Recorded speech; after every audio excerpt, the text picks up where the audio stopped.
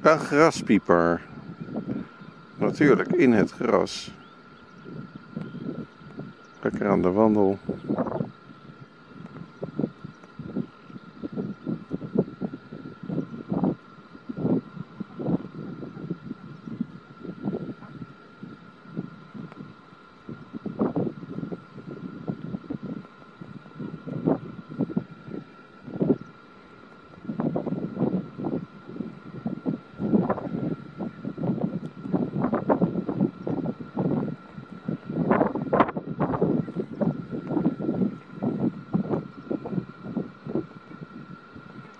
Meestal drukke beestjes, die graspiepers.